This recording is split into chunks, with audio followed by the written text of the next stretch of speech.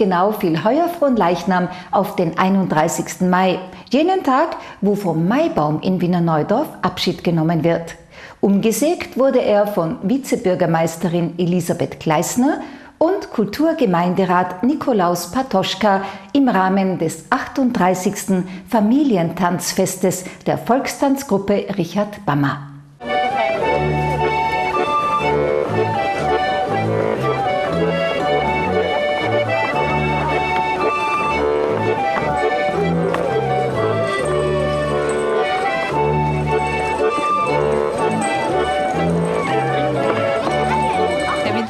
Das Familientanzfest, was hat denn das für eine Tradition? Es hat eine lange Tradition. Als Familientanzfest gibt es schon äh, das 38. Mal, also seit zwei, äh, 2000, äh, na, 1981 war es das erste Mal. Davor war es äh, und zwar auf der Goldenen Stiege in Mödling oben. davor war es auf der Römerwand. Das heißt, heuer ist es das 60. Tanzfest am Fronleichnamstag. Das ist ja heuer ein besonderes Tanzfest, weil der Maibaumumschnitt fällt genau zum... Traditionsgemäß auf den letzten Maitag. Das ist ein Zufall. Manchmal ist es früher, manchmal etwas später. 30. April aufstehen, Ende Mai, 31. Mai umschneiden, also passt perfekt zusammen. Ich habe nämlich keinen richtigen Brauch gefunden für das Maibaum umschneiden.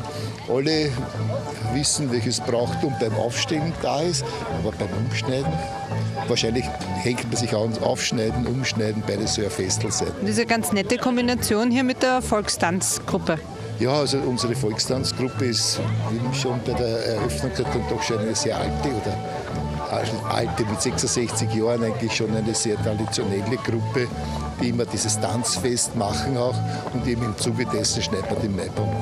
Frau Vizebürgermeisterin, normal sind Sie nicht so bekannt für Bäume umschneiden. Ja doch, ich bin im Wald aufgewachsen, im Wienerwald. Also ich war als Kind schon dabei beim Bäume umschneiden und wie man an der Schnittfläche sieht, meines ist sehr gut geworden. Sie sind heute beim Maibaum umschneiden ein bisschen ins Schwitzen gekommen. Ja, heuer hat man mir einen, wirklich einen kleinen Keil rausgeschnitten und wir haben schon tüchtig zu tun gehabt.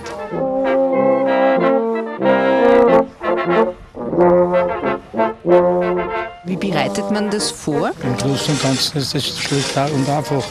Es wird abgesperrt, dann schneiden die Mitarbeiter den Baum ein und je nachdem, wer von der Politik da ist, die sägen dann weiter, bis er umfällt. Und wie weiß man, in welche Richtung der dann fällt? Da wird vorne ein Keil geschnitten und somit bestimmt man die Richtung des Baumes, wo er hinfallen soll.